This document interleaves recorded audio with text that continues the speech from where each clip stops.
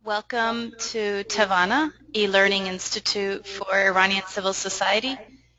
This is the first webinar uh, in a series of new tactics in human rights webinars, which the Center for New, new Tactics in Human Rights at the Center for Victims of Torture will be facilitating. Uh, Nancy Pearson will be conducting all of these webinars. Um, there are a series of four in total. This is the first. She will be facilitating all of them, and um, She's a wonderful facilitator who's worked in repressive regime contexts with activists like yourselves uh, for many, many years, and I've been um, honored to know her and work with her for a number of years. Um, we'd like to together welcome you all to this uh, webinar and hope that you will um, help us to make this one and future webinars as good as possible by uh, giving us your candid feedback. There will be an evaluation at the end of uh, the webinar, um, which we hope that you will fill out and provide your um, honest feedback on.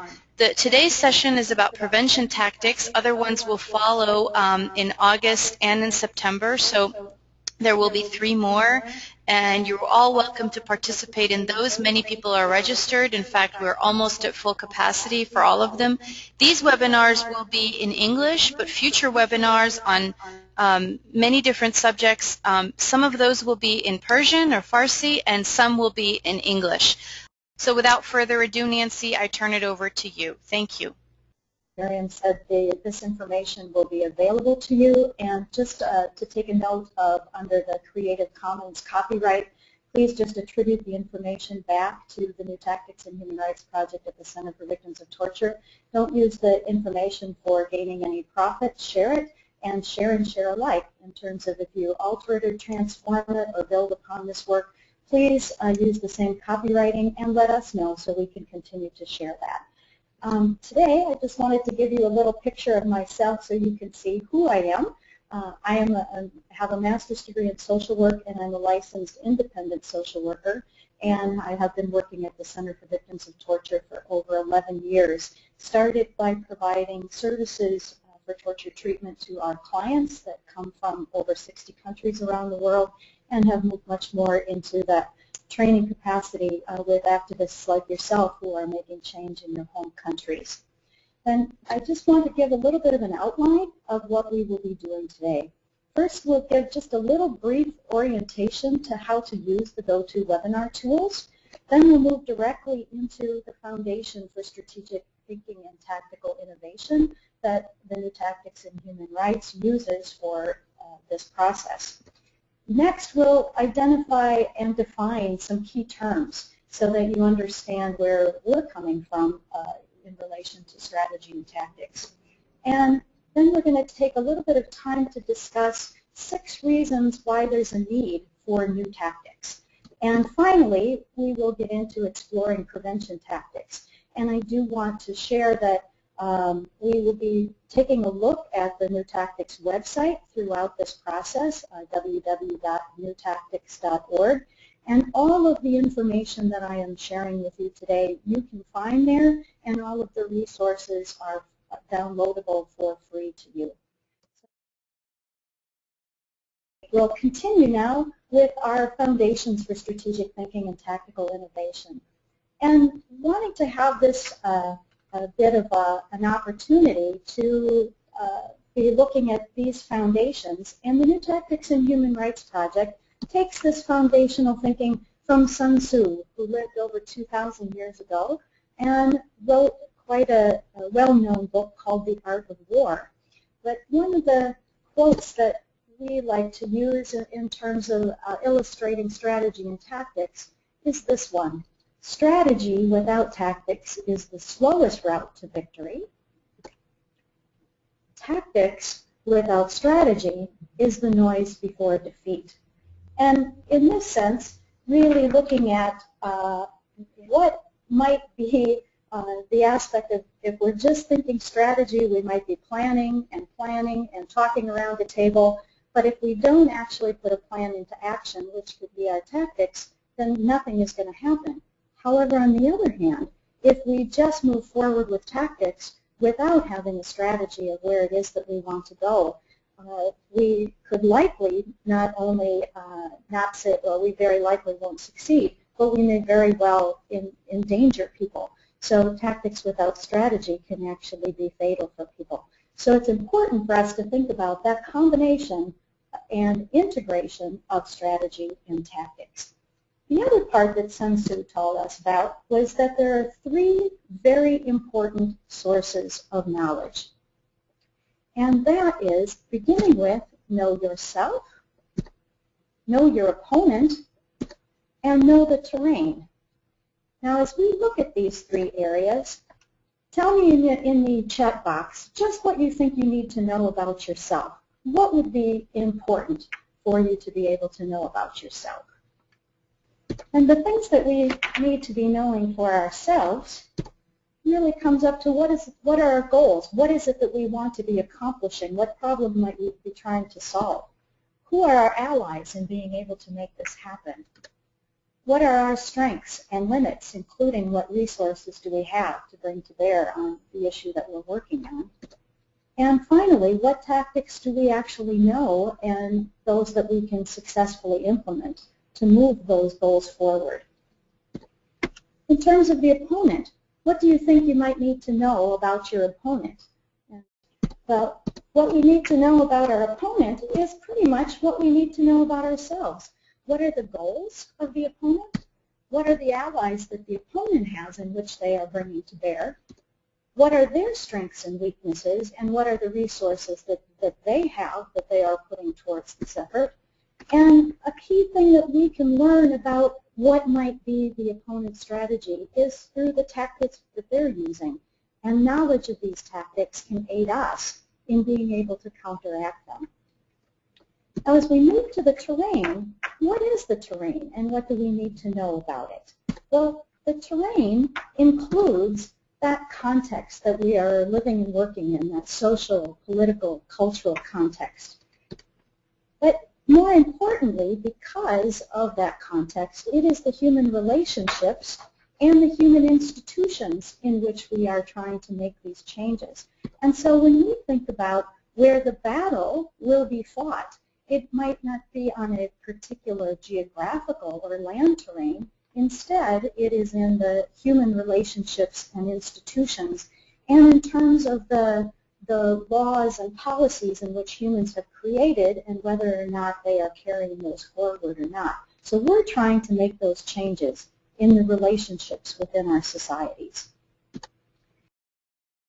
And as we look at our key terms, we're going to be taking a couple more polls. So what is strategy? Well, the correct answer on this is actually A, it defines what it is that is important to do. And as we come back to our slides, it is because it really outlines the key steps and approaches for accomplishing the goal. So the strategy defines what is important to do, including what are those key objectives that we need to uh, define in order to reach our goal. Who might be the appropriate targets that we need to change understanding the needed constituencies, and constituencies meaning what groups or institutions or people need to be really um, understood in order to move our issue forward. And the resources, again, that we are going to bring to bear, what resources we use and when, and then decisions also on which tactics we are going to select to use and when we use those.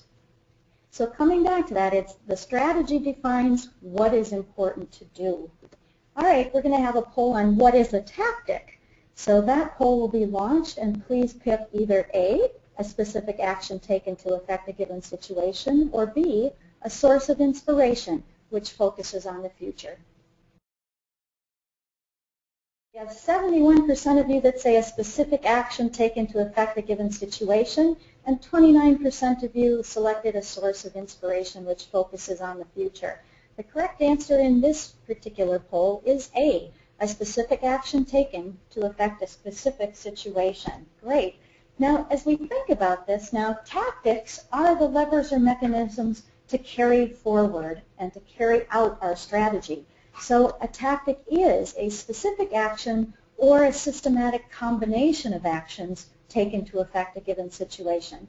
And it's important to note here that generally speaking, it takes more than one tactic in order to move our strategy forward. I mean, it's very rare you would see only one tactic being used in order to move a strategy forward.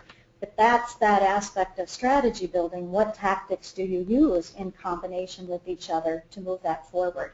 And that, in that way, tactics are one of the key building blocks of our strategy. And so the tactics are about how we are taking that step-by-step -step process to move our strategies forward.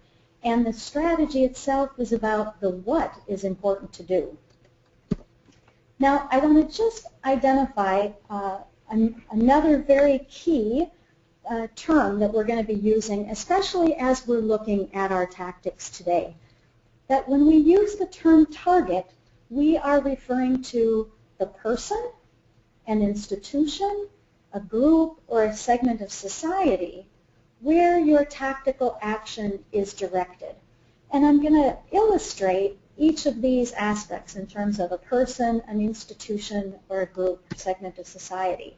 So we might think about our target as being a parliamentarian, or a journalist, a religious leader, a teacher, an employer.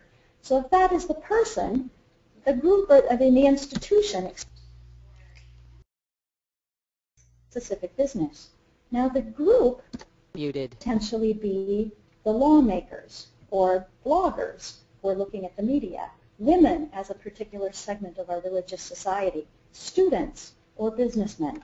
So you can see the distinction and what tactics you use would be different depending upon whether you choose a person, an institution, or a group. So as we move forward, we're going to talk now about six reasons why we have a need for new tactics. And the reason that there's a quote around that new tactics is because you yourselves are the new in the tactics. That there are not all that many ranges of tactics. However, the variations upon those tactics, the way that they're applied within the context of a political, social, or cultural situation are what make them new and different and where we can gain great ideas for how we might adapt those ideas into our own issue into our own context or region of the world. So as we begin, the very first reason why it's important for us to think about new tactics is that what we know how to do influences what we think is possible to do. That tactics really can help to determine our strategy. And I'm going to share an example of this in terms of the advent of mobile phones. Before we had mobile phones, there were many ways in which we communicated quite differently. But mobile phones allowed us to communicate much more directly and instantaneously. And this particular picture is from Amnesty International Netherlands, where they created an SMS alert network in order to engage youth in combating torture with text messaging. And as we think about this particular tactic, the target here is the youth. The second reason that we want to be looking at our tactics is that different tactics are effective against different targets. Now, the example I'm going to use here is related to uh, the Committee for the Administration of Justice in Northern Ireland. Now, they utilize the Committee Against Torture in the United Nations in order to leverage pressure against the United Kingdom government regarding detention practices in Northern Ireland. Now, this particular one, in terms of that target, having been both the, the Committee Against Torture, but the ultimate target being the British government, using that uh, possibility. But in a government that is not at all concerned with international opinion, this might not be the best tactic as we move to the third reason, that different tactics appeal to different constituencies. A little bit different than targets in the sense that um, we're looking more at a broader target, coming back to that aspect of groups and groups of people. So in this example, coming from Poland, you'll see this picture of a, a soccer player, a soccer star, who was utilized to really begin to do public education around uh, racism in Poland. And that target about both towards the youth, but towards a wide range of people who are interested in, in football. I should have said it as uh, football for the Europeans and those of you in the rest of the world. It's only the United States that uses that term soccer.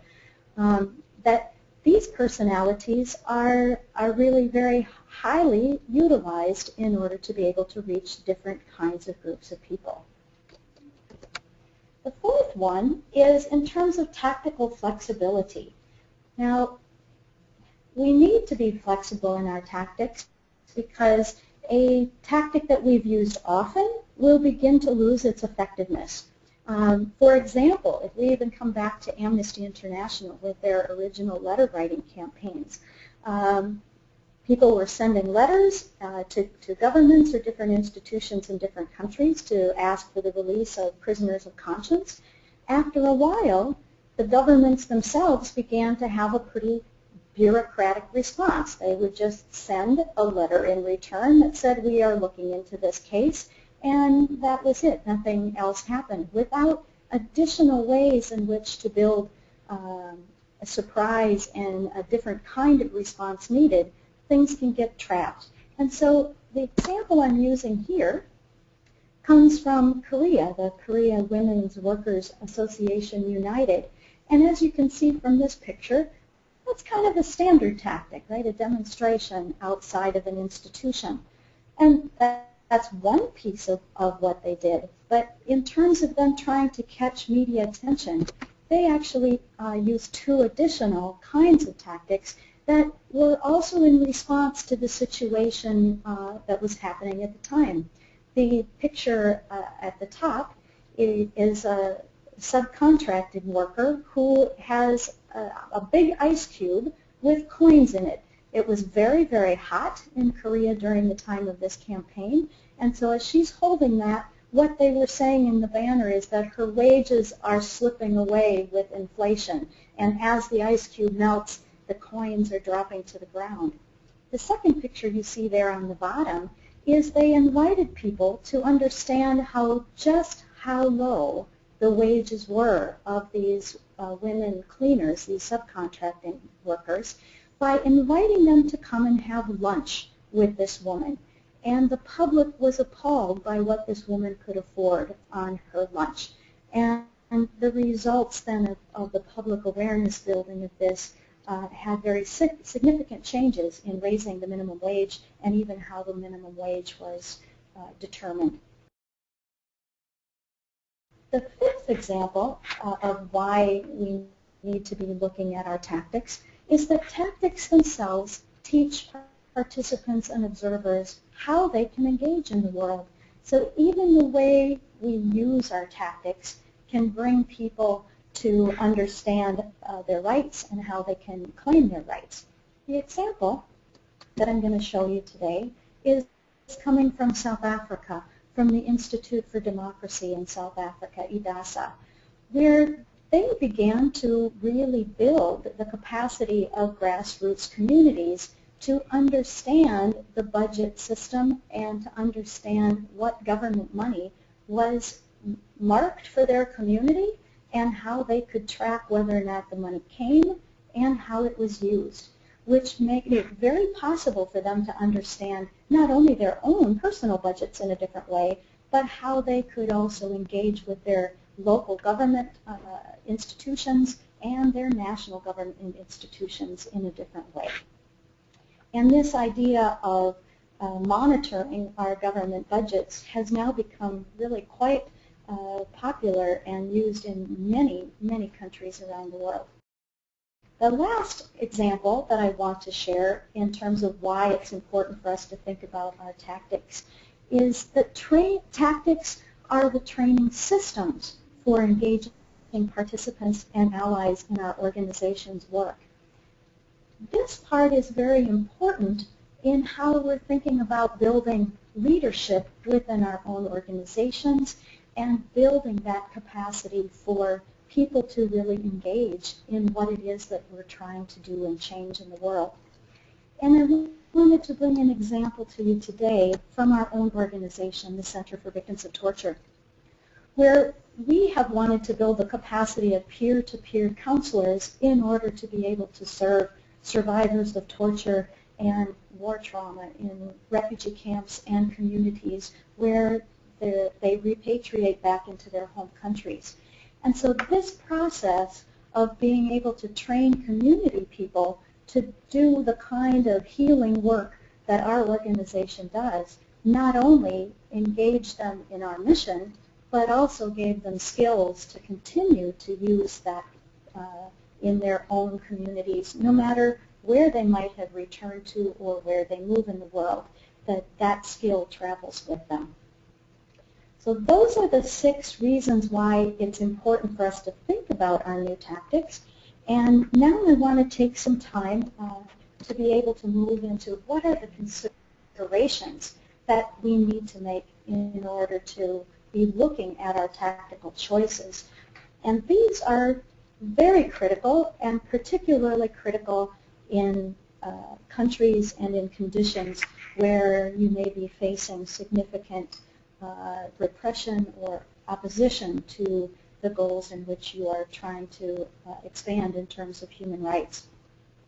And so when we think about these important considerations, one of them is your group's capacity to actually carry out the tactic that you have identified. What kinds of resources do you need to have in place? Um, what aspects of your group conditions do you need to know in order to respond to those? And that also entails this tolerance for risk. The picture that is there on the screen for you is of a, a demonstration that was then very violently uh, dispersed by police. And this particular context was in Serbia under the Milosevic uh, regime. And that aspect about tolerance for risk, that those who uh, are willing to go out for a demonstration where that potential for a very serious uh, response and backlash from the government could be high takes a different kind of, of planning and a different kind of group of people who are interested and willing to put themselves in that kind of condition.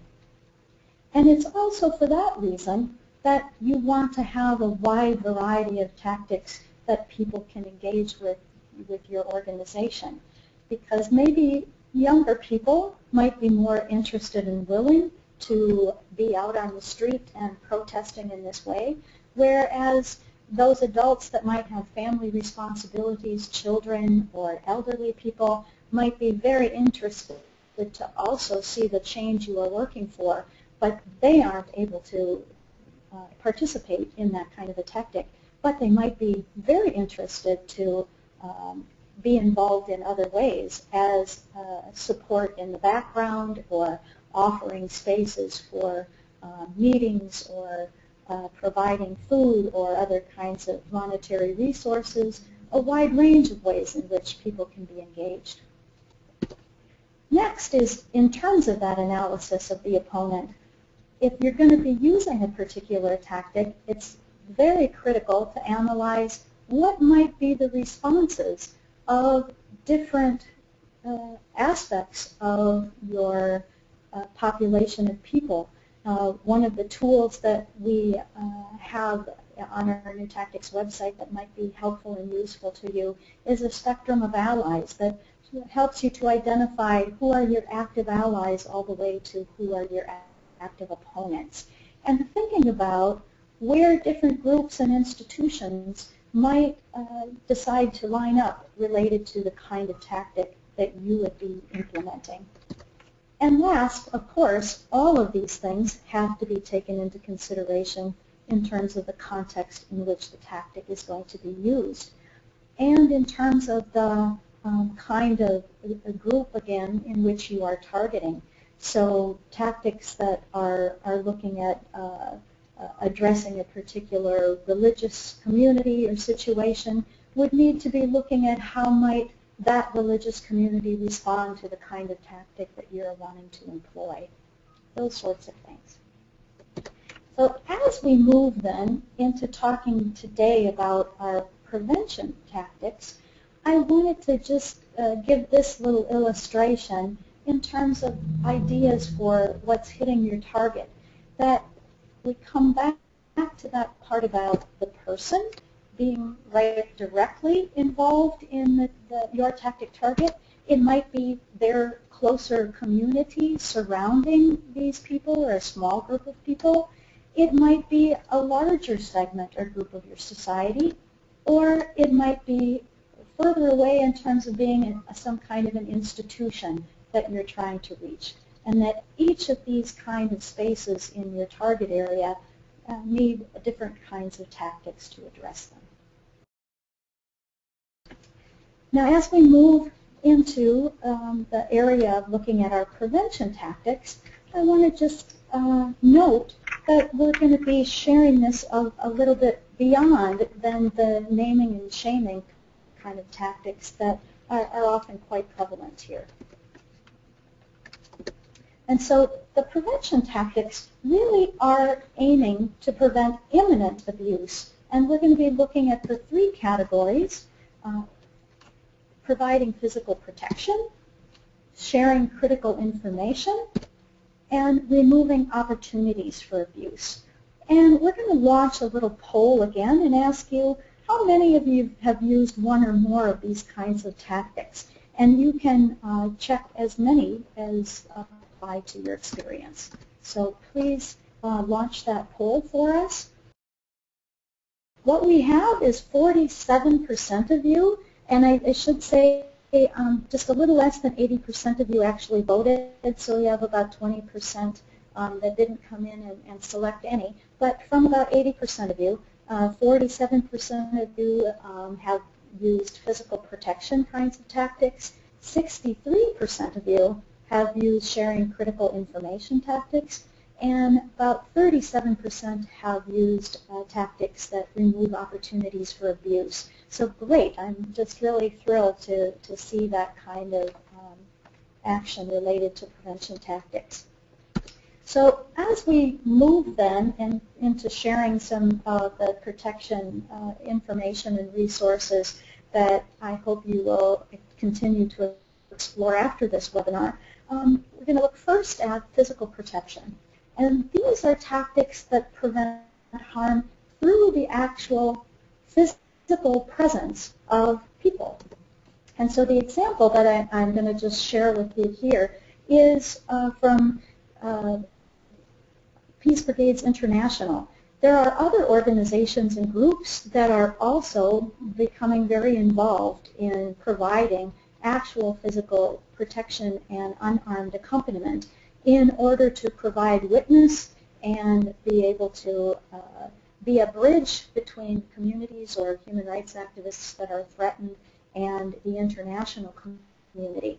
And I just want to note that if you want to take a, a piece of paper to note down that this example can be found on page 31 in the English version of our New Tactics in Human Rights book.